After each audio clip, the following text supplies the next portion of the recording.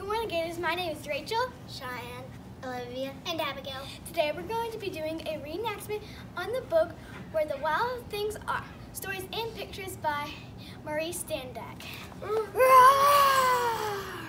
I'm Max, and I am a wolf. Roar!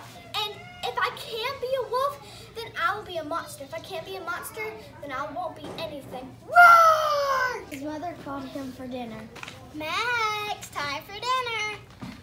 What's for today, Mother?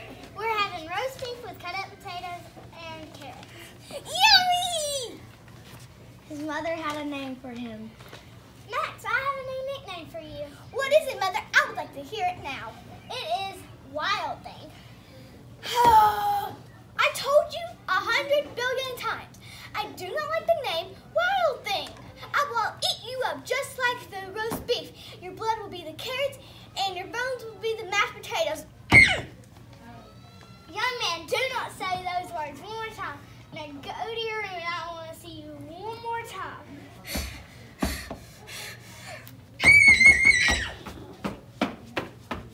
Whoa, look at this boat. I need to, I need to get on it to see where it takes me. I hope it takes me to somewhere awesome like a or Disneyland. Let's go. Then he came to a place where wild things live. Whoa, look at this monster. I better get out of my boat and see the monster. Who are you? Why have you come here? Hi, I'm Max, and I am a monster, and I have come to be your monster king. Roar! Come on in. Max took his boat and went home. I better get in my boat so the monsters don't find me. They already fell asleep at their nap time. Oh, let's go back home. What? There's my home. I need to get out and tell my mother. Well, maybe not.